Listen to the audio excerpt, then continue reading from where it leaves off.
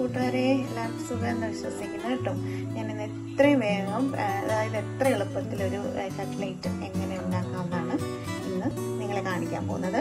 Tuna ആണ് ഉണ്ടാക്കുന്നത്. അതിന് വേണ്ടിയിട്ട് ട്യൂണ നമുക്കിവിടെ ഒത്തിരി അവൈലബിൾ ആണല്ലോ ടീനിന്റെ അകത്ത് കിട്ടുന്നത്.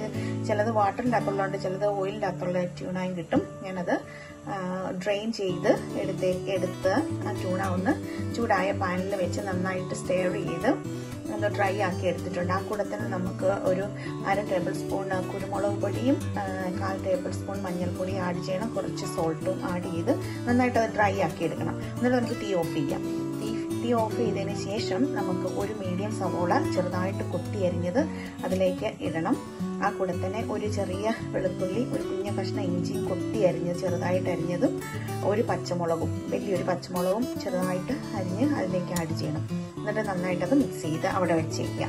എന്നിട്ട് നമുക്ക് അതിന്റെ അകത്തേക്ക് നമുക്കിനി പൊട്ടറ്റോ ബോയിൽ ചെയ്ത് പൊട്ടറ്റോ മാഷ് ആഡ് ചെയ്യണം.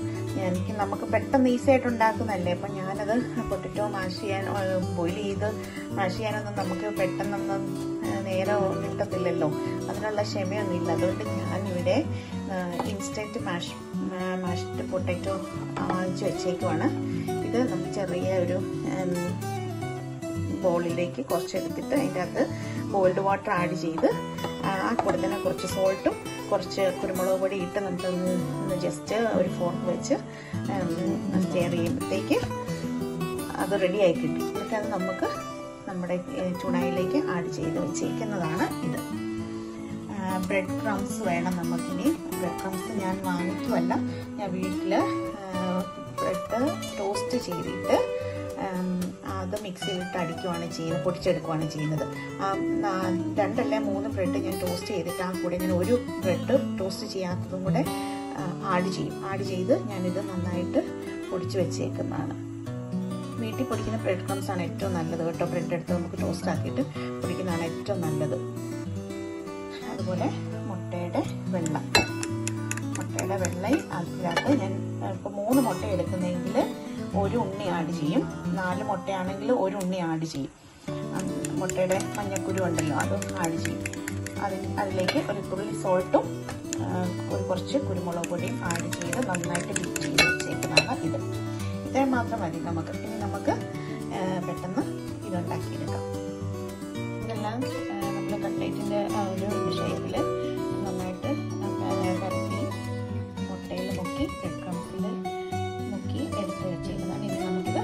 പോരാം നമുക്ക് കട്ട്ലേറ്റ് ഒന്ന് നോക്കാം. ഉണ്ടോ നന്നായിട്ട് നമ്മുടെ കട്ട്ലേറ്റ് ഒക്കെ മൊരിഞ്ഞ് വന്നിട്ടുണ്ട്. ഇത്രയും മുരിച്ചാൽ മതി. കൂടുതൽ ഒത്തിരി നമ്മളങ്ങ് മുരിച്ചാൽ അത് പൊട്ടിയൊക്കെ പോകും. പക്ഷെ നമ്മൾ എഗ്ഗ് എടുത്തല്ലോ. എഗ്ഗിന്റെ വെള്ള എടുത്തായിരുന്നു. അതിന്റെ കൂടെ നമ്മൾ ഒരു ഉണ്ണി ആഡ് ചെയ്തിട്ടുണ്ട്. അപ്പോൾ ഉണ്ണി ഒരെണ്ണം ആഡ് ചെയ്യുമ്പോൾ അതായത് അതിന് മഞ്ഞക്കുരു ഇല്ലേ? ആഡ് ചെയ്യുവാണെങ്കിൽ നമ്മുടെ കട്ട്ലേറ്റ് ഒന്നും പൊട്ടിയൊന്നും പോകത്തില്ല കേട്ടോ. ഉണ്ട് എല്ലാ കട്ട്ലേറ്റും നന്നായിട്ട് വന്നിട്ടുണ്ട്. നല്ല മുരിഞ്ഞ് വന്നിട്ടുണ്ട് നമുക്ക് നന്നായിട്ട് ഇനി ഇതെല്ലാം ഒന്ന് കോരി ഇനിയിപ്പം അടുത്ത സെറ്റ് ഇതിലേക്കിട്ട് വറുത്ത് കോരി എടുക്കണം അപ്പം നിങ്ങൾക്ക് എല്ലാവർക്കും കട്ട്ലേറ്റ് ഇഷ്ടപ്പെട്ടത് ഉണ്ടാക്കുന്ന രീതി വളരെ എളുപ്പത്തിൽ ഉണ്ടാക്കുന്ന രീതി ഇഷ്ടപ്പെട്ടു എന്ന് ഞാൻ വിശ്വസിക്കുന്നു. ഇത് കണ്ട കട്ട്ലേറ്റ്